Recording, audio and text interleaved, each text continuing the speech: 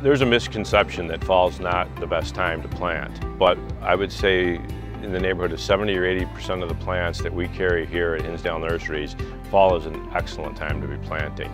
Planting shrubs, trees, deciduous ornamentals in the fall is a great time. Late summer, early fall is best time for evergreens, boxwoods, yews, and deciduous you can do into the end of October, pretty much up until when the ground freezes.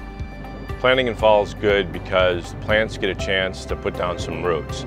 As long as the soil temperature is above 55 degrees, plants will begin to root in in the fall and be ready to go first thing in the spring when the temperatures warm up.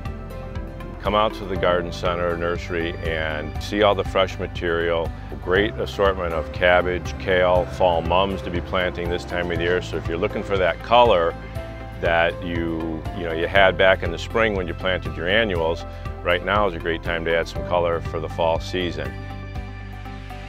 It's just another season for us. We're going to fill the shelves like we do in the spring with fresh stock from the nursery.